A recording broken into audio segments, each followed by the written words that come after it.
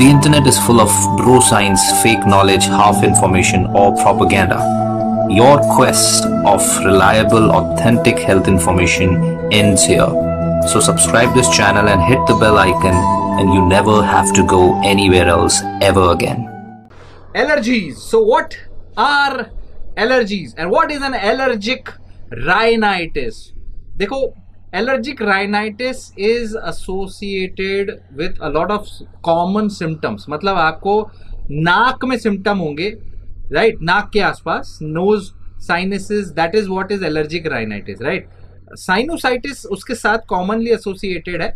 दोनों साथ में देखे जा सकते हैं, दोनों अलग हो सकते हैं but then they are associated symptoms इसके आ सकते हैं जब आप कोई ऐसी एलर्जिक सब्सटेंस ब्रीद कर लो, जैसे कि डस्ट या एनिमल डैंगर या पोलन ग्रेन, या फिर हो सकता है आप किसी खाने पीने की चीज़ से एलर्जी हो, जैसे कि ठंडी चीज़ से।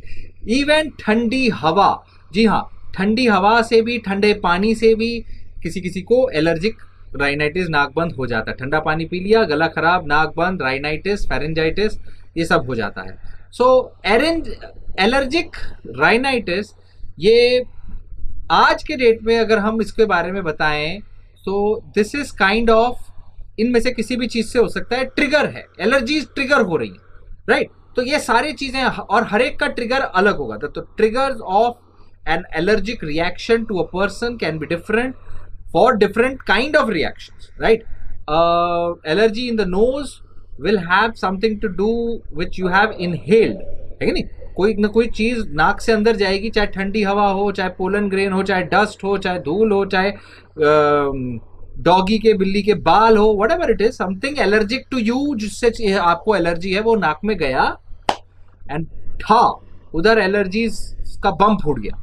So that is kind of the allergy which happens this can happen in winter also ठंड में भी, ठंडी में, बारिश में भी, और समर में भी right so that is allergies अब ये चीज़ याद रखिए प्लांट्स में जो ट्री है, उनके अंदर कई बार पोलन ग्रेन्स होते हैं जो समर में निकलते हैं। तो समर में ये पोलन ग्रेन्स के वजह से कॉमन होते हैं, जिसको हम हे फीवर कहते हैं also called hay fever when it is cause due to pollen grains in summer and the weather will cause the decrease and increase of pollen grains right dry hot और weather होगी तो pollen grain ज़्यादा लंबे जाएँगे pollen रहेंगे cool डैम्प रहेगी तो वो ज़मीन पे विंटर में बह तो पोलन वाली एलर्जीज नहीं होती है बट देन फिर भी it can be because of change in temperature also because of change in temperature आपके बॉडी के अंदर जो टेम्परेचर बैरोमीटर्स होते हैं, उनकी सेंसिटिविटी ऐसे क्विकली चेंज हुई बारिश आई टेम्परेचर चेंज बाहर गर्मी थी, एकदम ठंड हो गया।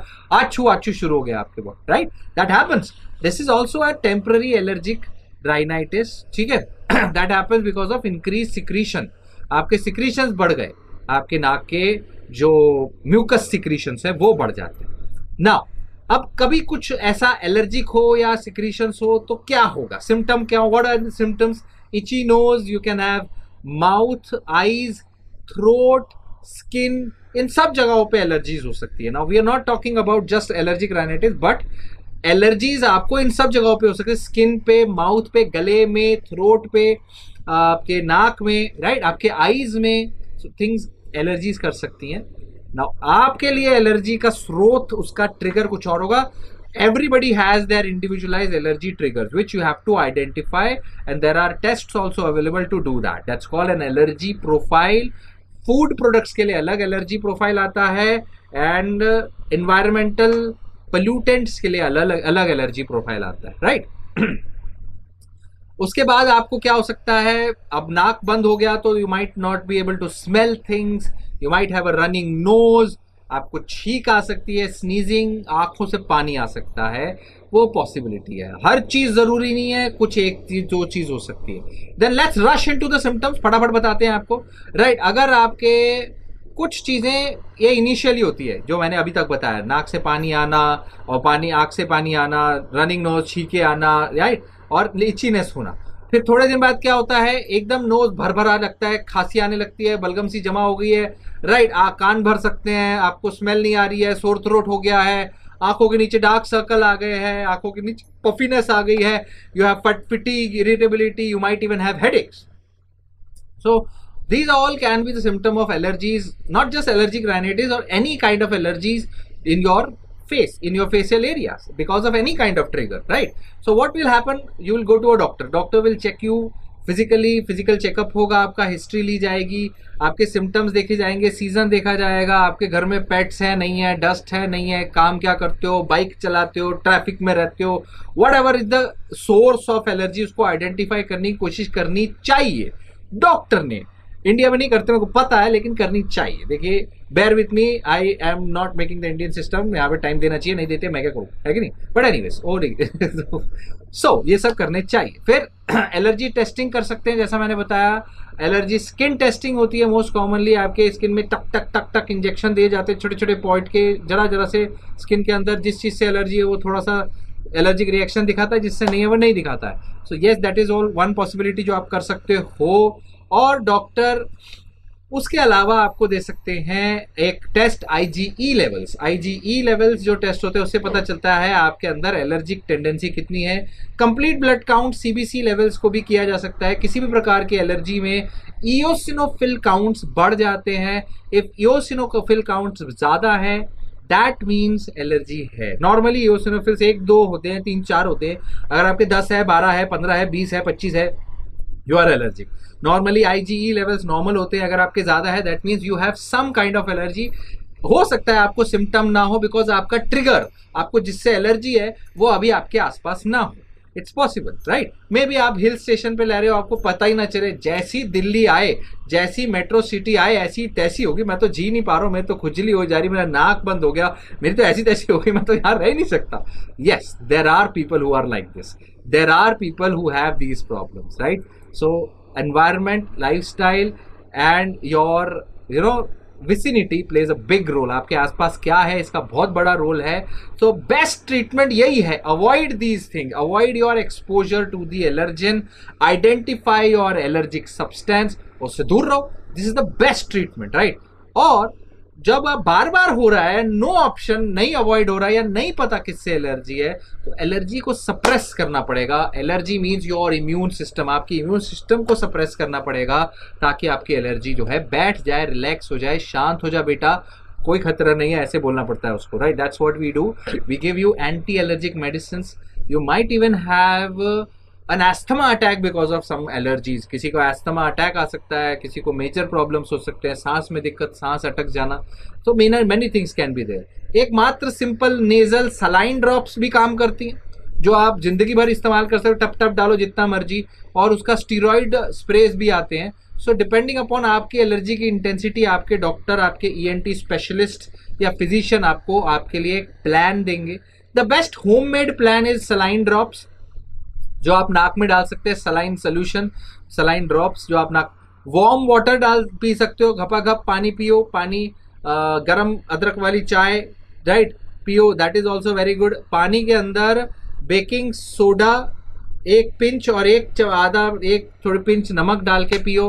गर्म पानी में that also helps relief your symptoms for a home treatment जी हाँ वो बोलते ना, याद रखोगे मुझे, ऐसा ऐसा सोल्यूशन बताऊँगा कि याद रखोगे पहले दस मिनट यही सब बकवास करते हैं, बाद में बताते हैं, ये एक चुटकी ये, एक चुटकी डाल के गर्म पानी पी लो। अच्छा पहले बताते हैं, खत्म, कहा इतना टाइम वेस्ट किया? वैसा कुछ नहीं करेंगे। Right so simple simple solution है, लेकिन हर एक में काम नहीं करेगा। ट्राई करने में कोई नुकसान नहीं है, कोई वादा नहीं है। याद रखोगे, ऐसा भी कुछ नहीं है। राइट याद तो रखोगे। यार भूलोगे नहीं। फिर दवाइयाँ क्या क्या होती हैं? बहुत इंपॉर्टेंट एलर्जी की दवाइयाँ एलर्जिक राइनाइटिस हो, या अर्टिकेरिया हो, या एक्चुअल स्किन एलर्जीज हो, ज़्यादातर माउथ वाली या ओरल रेस्पिरेटरी सिस्टम में एलर्जीज में यही दी जाती हैं। एंटी हिस्टामीन्स होती हैं जो एलर्जी के सिम्टम को रोक देती हैं। कंट्रोल करती है। एंटी हिस्टामीन्स आपको मुँह से लेनी होती है। वो आपको बिना प्रिस्क्रिप्शन के भी मिल जाएँगे। सिंपलेस्ट एग्जांपल है सिट्रीजीन लिवोसिट्रीजीन राइट ये सिंपल चीज़ें। Right right? और इनसे साइड इफ़ेक्ट क्या होता है? आपको नींद आती है तो इसलिए रात को एक गोली लेके रहिए, मस्त सोएँगे, सुबह ऑफ़िस के लिए लेट होंगे, बस और कुछ नहीं होगा। Right right? इतना तो साइड इफ़ेक्ट होता ही है यार, है ना? Anyways but then there are other medicine also जिनके इस तरह के साइड इफेक्ट्स नहीं है। उसके लिए आपको डॉक्टर के पास जाना पड़ेगा। एंटी हिस्टामिन आप ले सकते हो। उसमें भी बहुत सारे class one class two class three class four anti histamine है। Forget about them right forget means अभी हम मेडिसिन थोड़ी बताने वाले राइट right? फिर दूसरी है कॉर्टिकोस्टीरोइड। जी हाँ स्टीरोइड दिए जाते हैं एलर्जीज को सप्रेस करने के लिए। वो क्या है? स्टीरोइड में एलर्जीज, किसी भी प्रकार की एलर्जीज का एक बिल्कुल इंस्टेंट रिलीफ मिलता है स्टीरोइड से। अगर नाक में है, इधर है तो स्प्रे हो सकता है। इनहेलेशन वाला स्टीरोइड आपको दिया जाता है। अस्थमा के पेशेंट को सांस से इनहेल, नेबुलाइजेशन दिया जाता है या पंप दिए जाते हैं।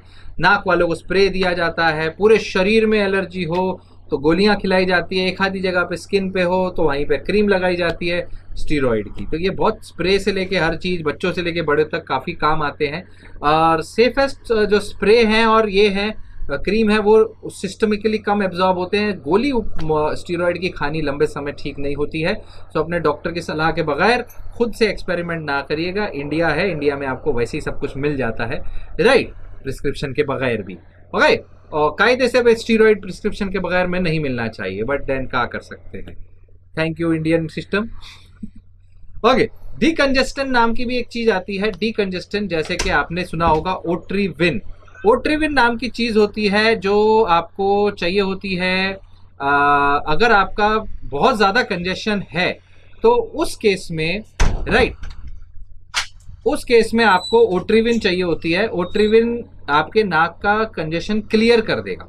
नाक का कंजेशन क्लियर होगा तो आपके symptoms nasal stuffiness puffiness reduce हो जाएँगे। लेकिन इसका भी साइड इफ़ेक्ट है, अगर आप ज़्यादा दिन ओट्रीविन यूज़ करेंगे तो आपके नाक को ड्राई कर देगा, बंजर कर देगा।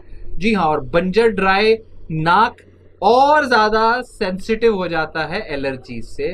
तो इसको तीन से चार दिन से ज़्यादा यूज़ ना करें। ये आपके लिए रोज़मर्रा का नहीं होना चाहिए। काफ़ी लोग करते हैं ना, करते हो ना ओट्रीविन लेके घूमते हो, खच खच सब सब नहीं करना चाहिए। राइट कृपया वो ना करें। और एडवांस लेवल की दवाइयाँ आती है जो ल्यूकोट्रीन इनिबिटर्स होते हैं, जो आपके डॉक्टर आपको देते हैं, जैसे मोन्टेर मोन्टेलुकास्ट जिसको आप मोन्टेर एलसी मोन्टेर के नाम से जानते हैं। सो वो दवाइयाँ भी आती हैं जो आपके एलर्जिक ट्रिगर्स को कम करती हैं। प्लस ये हुआ मैनेजमेंट परमानेंट क्योर के लिए जो चीज़ होती है, उसके लिए पॉसिबिलिटी है। उसे कहते हैं allergy shots immunotherapy what is this हम अगर पता कर लें कि किस चीज़ की एलर्जी है तो उस चीज़ के रेगुलर बेसिस पे छोटे छोटे माइक्रो लेवल पे इंजेक्शंस लगाने पे आपकी बॉडी पे क्रोनिकली वो चीज़ आती रहेगी आती रहेगी तो अडेप्टेशन पैदा हो जाती है वो भी छः महीने साल भर में। सो so, ये एक एलर्जी शॉर्ट्स इम्यूनोथेरेपी होती है। हर एक में सक्सेसफुल नहीं होती है लेकिन अच्छी मात्रा में आधे से ज़्यादा लोगों में सक्सेसफुल होती हो सकती है। तो आपको इसको ट्राई कर सकते हैं। अगर आप चाहे तो अगर आप वैसे ही अवॉइड करके जी पा रहे हैं तो वेल एंड गुड है। वरना आप एलर्जी शॉर्ट्स के लिए अपने डॉक्टर से फिजिशियन से या अपने ई एन टी स्पेशलिस्ट से बात कर सकते हैं। राइट इम्यूनोथेरेपी सब लिंगुअल भी आती है, जिसमें इंजेक्शन की जगह थोड़ा थोड़ा आपके टंग के नीचे डाले जाते हैं, लेकिन ये डिपेंड करेगा किस चीज़ से एलर्जी है उस चीज़ पे। तो ये हुई बातचीत सारी की सारी आपको एलर्जिक राइनाइटिस और प्रॉपर एक कॉमन एलर्जीज के लिए। प्रिवेंशन के लिए मैंने ऑलरेडी बताया आपको, अपने इन्वायरमेंट को टटोलना है कि आपको किससे एलर्जी है और उस चीज़ से दूर रहना है। That's all about allergic rhinitis Now, if you have any questions about that or in general for allergies, you can ask now and I'll try to answer them. Okay.